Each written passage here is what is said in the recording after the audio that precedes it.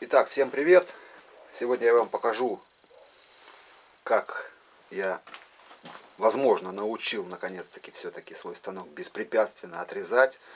Не от раза к разу, как было у меня раньше, что он то режет, то не режет, непонятно что было. А вчера пробовал по новому способу. И вот 27 грань режет. Труба на 38, стенка 5 миллиметров тоже режет. Без масла. Ну, конечно, охлаждающая жидкость бы не помешала бы, даже очень не помешала бы, бы сделала доброе дело. Но это еще нужно доделывать тут и поддоны, и слив, и так далее. Это, это в будущем, в проекте. Главное, что вроде он начал резать. И я вам сейчас покажу, как он режет, отрезает. А потом дальше уже, кто заинтересуется, я могу рассказать, как я этого добился. Вот. В общем-то, этот способ мне добрые люди уже давно советовали. А я как-то все боялся испортить резец. И после того, когда я переломал уже несколько резцов заводских, наконец-таки я все-таки соблаговолил последовать совету и сделать резец, как мне советовали люди. Спасибо вам большое. Да, и спасибо большое за комментарий к последнему видео. Вы мне очень помогли своими советами, все. Я старался всем отвечать, да вроде всем и отвечал. Спасибо, что не ленились писать развернутые ответы. Вы мне очень помогли и, возможно, сэкономили кучу денег. Потому что я вот спрашивал за станину, как усилить. Много, много советов, все хорошо, все прелестно. Ну и многие из вас, именно вот, как сказать, вот я чьих, чьим бы советом последовал бы. Многие из вас пишут, что да, вот надо сделать вот так, вот так, вот так, но в общем у тебя станок точит уже нормально, и поэтому, возможно, и нет смысла заморачиваться. И я пока так и решил, что не буду я больше заморачиваться, а буду точить как есть. А там дальше видно будет. Единственное, что продумаю еще, как усилить мне переднюю бабку. Вот. Вот это я постараюсь сделать еще.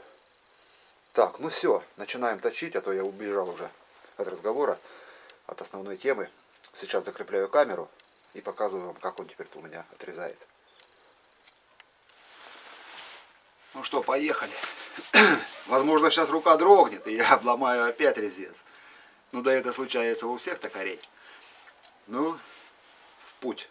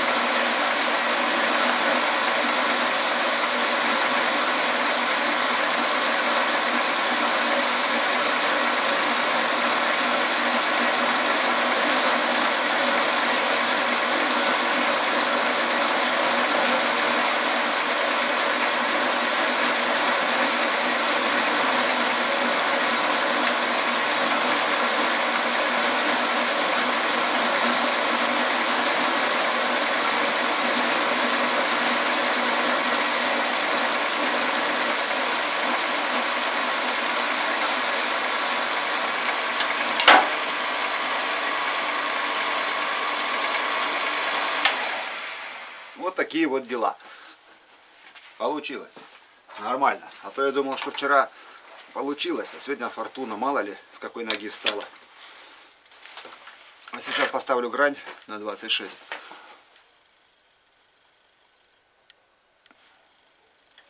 И отрежем ее. Только грань я дорезать до конца не буду, уж извините. Резцов у меня всего два.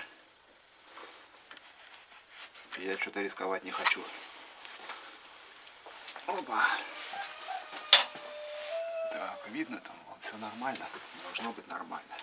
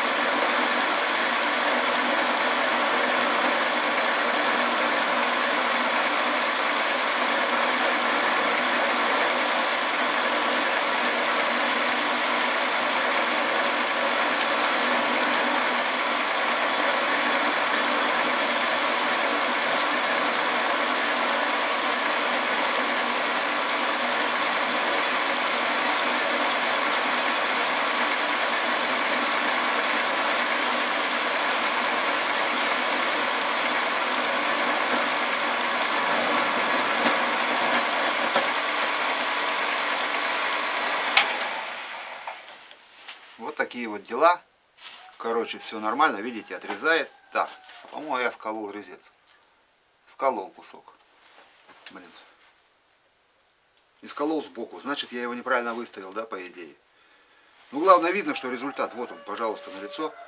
Все нормально. А сейчас я покажу вам, расскажу, как я узнал, какой ширины должен быть резец именно для моего станка. Ну и покажу, как определить, какой ширины резец будет отрезать на вашем станке. Сейчас я вам это покажу. Так, наверное, ракурс я менять не буду, пусть так остается, вам будет видно. Для этого я поставлю опять трубу, потому что на грани будет плохо видно. Вот такой вот рез получается.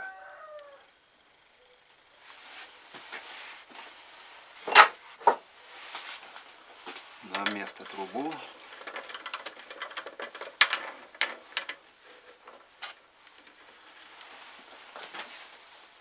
Опа.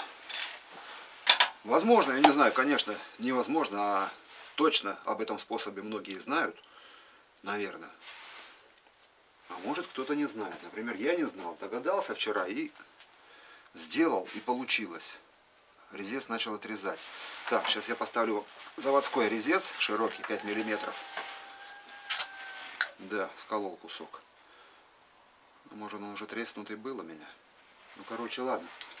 Теперь можно купить пару резцов, сточить как надо, и все. Вот у меня резец есть. Заводской 5 миллиметров. Но он сколанный уже. Я вчера начал плоскость эту стачивать. А потом думаю, что я туплю. Если я все равно его буду делать уже, как раз вот этот скол уйдет. И не надо погонить плоскость. Но сейчас для этого эксперимента оно пойдет и так. Должно. Так, вот что я сделал вчера с тем другим резцом. Поставил его как надо. Опа. И дальше я начал протачивать. Так, сейчас. Чуть-чуть подальше. Вот так вот сделаем. И дальше я начал протачивать, запускать по одному миллиметру. То есть вот, подвел резец, все, упер. Теперь я подвинул его на 1 миллиметр и начал протачивать, отрезать. Смотрю, на миллиметр он у меня идет нормально. Дальше подвинул на 2 миллиметра. Тоже идет нормально, срезает, ну, вот, эту стенку. 2,5 миллиметра, 3. Дошел 3,5 миллиметра, он у меня начал дробить. Все понятно, что больше 3,5 миллиметров у меня резец, сейчас, во всяком случае, не работает. И я вот этот резец, который вот эти вот сейчас резал, я его сделал, ну здесь у меня получилось 3,1. Здесь 3,1, здесь ровно 3 миллиметра. То есть всего одна десятка на сужение. Ну это так получилось, а там просто слепо следовать совету, что бери резец 2 миллиметра и режь. Я не захотел, потому что все-таки 2 миллиметра это сильно тонко. Если трехмиллиметровый он сейчас сколол, а двухмиллиметровый уже, наверное, пластинка отскочила бы. И так тело остается мало для упора и так далее. Ну, короче, я вот сейчас вам рассказываю способ, как добиться именно узнать толщину пластины, ширину именно для вашего станка. Потому что может быть такой станок, как у меня в начале самом был, так он навряд ли и миллиметром бы резал. Вот. И теперь вот сейчас проверяем.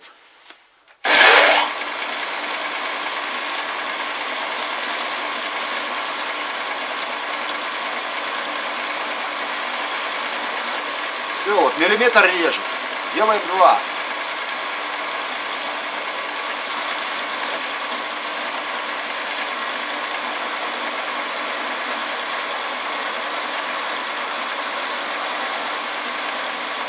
Два миллиметра режет. Делаем два с половиной.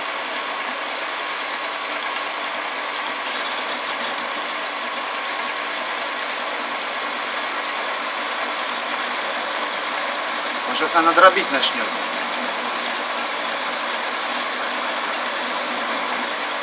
Так, ну пока... Вот, видели, 2,5 миллиметра он точно снимает запросто. Ну дальше у меня тут скол начинается, поэтому я не буду продолжать, извините, потому что я могу его обломить дальше. Мне надо его точить, просто я уже знаю у себя, что у меня 3 миллиметра нужно. Вот. И так продолжаем, то есть держим этот резец и отводим, отводим, отводим, до тех пор, пока не начнет дробить. И вы узнаете, какая ширина, то есть штангенциркуль. Замерили. Ха, а у меня 3 получилось. Но у меня лимба нет, поэтому подавал-то я вручную наугад. Ну, короче, получилось 3 миллиметра. Сейчас. Но это до скола. И он еще, видите, не дробил. То есть, возможно, этим резцом можно будет и пошире резать. Потому что эти, эти резцы у меня разные.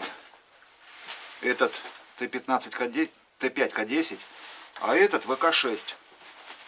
Я не знаю, или может это опечатка или нет, но написано именно ВК6. Не знаю, видно вам будет, нет.